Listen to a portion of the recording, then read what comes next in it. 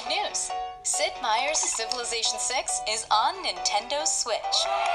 Bad news. You don't know where to start. Well, sit back, relax, and let me be your guide dog. When starting a game of Civilization, or Civ for short, you need to pick your leader, the mighty ruler of your empire. Each leader has their own unique strengths and bonuses. They might be a ruthless opportunist, ruthlessly scientific, or just plain ruthless. Once you've chosen your civilization, it's time to, uh, start civilizing. It's super easy. You take a turn, then your competitors take a turn. On and on until victory is yours. Or theirs. It's so easy, a barbarian could play it. You're better than a barbarian, right? But unlike those wild barbarians, you actually care about the welfare of your empire. Build farms and cast your fishing nets to feed your loyal subjects. Construct mines and lumber mills to outwork the competition early. Like a majestic eagle, in the early game, you need to spread your wings and fly.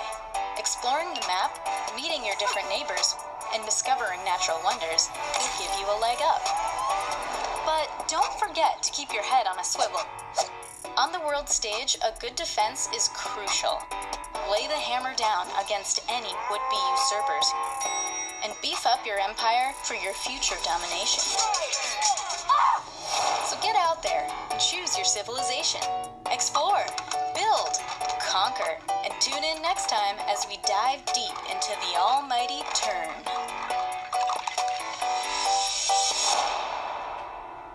There are a bunch of things you can do with your turn in a game of civilization, but none so important as researching.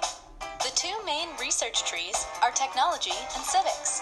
Each tree unlocks bonuses that will strengthen your civilization in different ways. Depending on which tech or civic you research, you'll set your civ on a different path to victory. But we'll cover those next time. Movement reveals unknown areas of the map, or, as we like to call it, the fog of war. With the fog of war removed, you can uncover hidden resources and discover natural wonders. Huh. Who knew Yosemite was in the middle of Africa? If you're unsure of what to do early on, send out a scout and have him start exploring. You never know what or who you might find. Welcome to the United States of America. Think Alexander the Great got his nickname because his empire was small? To grow your civ, you need to build.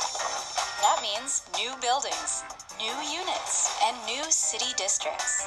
Districts allow you to build more specialized buildings and improve certain parts of your civ. Want to control the high seas? You'll need a harbor. Military lagging behind?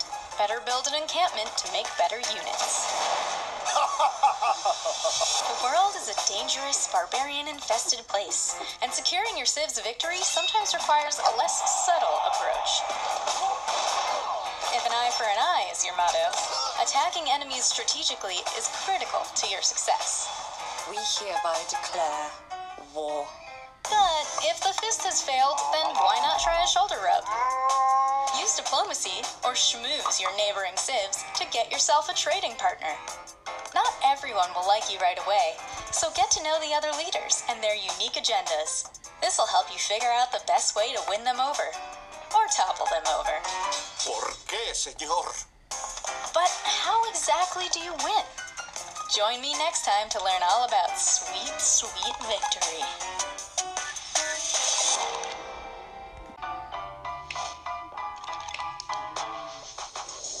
From the moment you pick your civilization, you'll be defining your playstyle because every action contributes to your empire. Every move, building, and relationship made earns you science, culture, faith, or gold. And along with the research you've unlocked, you'll shape your path to victory. So, what exactly does victory look like? Let's find out. The first way to win is right there in the name. Declare war and dominate the other civilizations by capturing their capital cities by force. Once you've captured the last capital city, boom, victory is yours. Be careful though, warmongering doesn't make you the most popular leader in the world. If the brutish ways of domination aren't for you, try for something more civilized. Recruit history's greatest artists, musicians, writers, and more to create great works in your civ. Soon you'll attract more tourists than the postcard industry can handle. Keep the tourism train rolling, and you'll become the envy of the world. You just got a culture victory. Want to spread the adorable word of the Book of Poochins? Send your missionaries out on a pilgrimage to Civ's next door. Your disciples need to convert half the cities of the world to your religion. If they do, you just scored a religious victory for your cuddly Lord and Savior. Victory, you'll need to boldly go where no civilization has gone before. By boldly beating everyone else to the final great feats in human engineering. Whoever said science was hard? Whether it's by the sword, song, or sacrament, you'll want to build wonders and specialized districts to boost you along your chosen path to victory. Plus, they really spruce the place up. Big, wonder-filled world out there, and we've barely scratched the surface. Now it's your turn to dive even deeper, discover the fun that awaits, and lead your empire to greatness.